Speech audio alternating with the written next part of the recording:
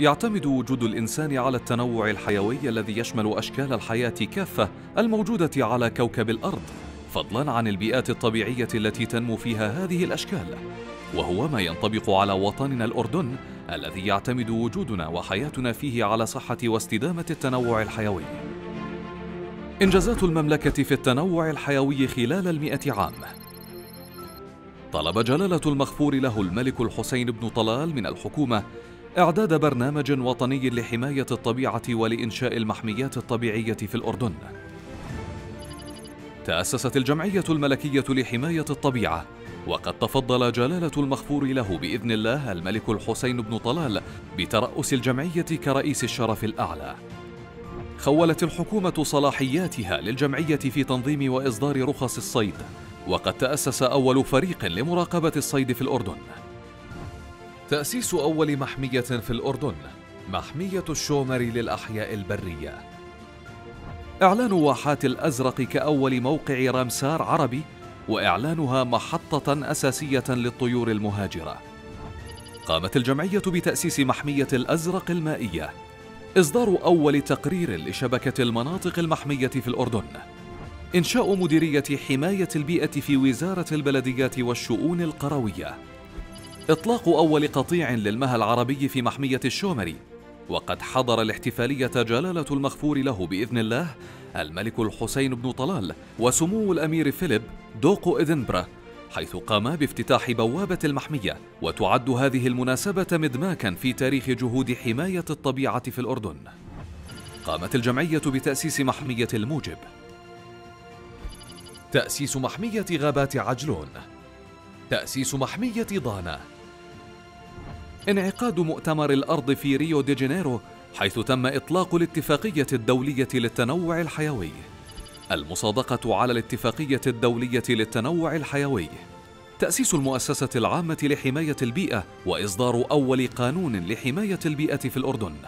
إنشاء محمية وادي رم الطبيعية.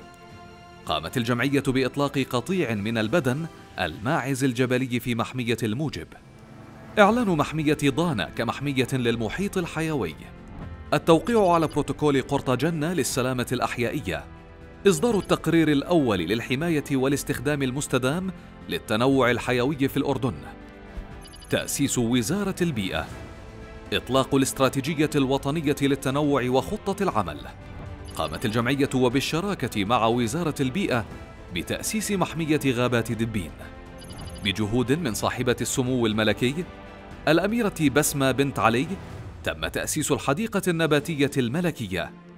إصدار قانون حماية البيئة رقم 52 لسنة 2006 نجحت الجمعية بإنقاذ أسماك السرحان المهددة بالانقراض من خلال إجراء عمليات إكثار بأحواض خاصة في محمية الأزرق المائية.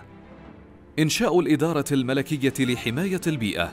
قامت الجمعية بإطلاق الأيل الأسمر في محمية غابات عجلون.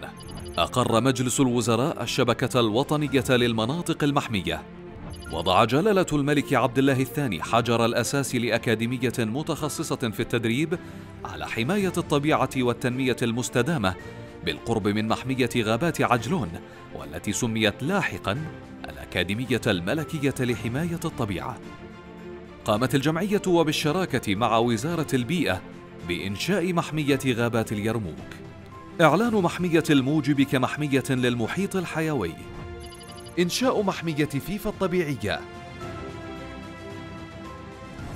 التوقيع على بروتوكول ناغويا بشأن الحصول على الموارد الجينية وتقاسم المنافع.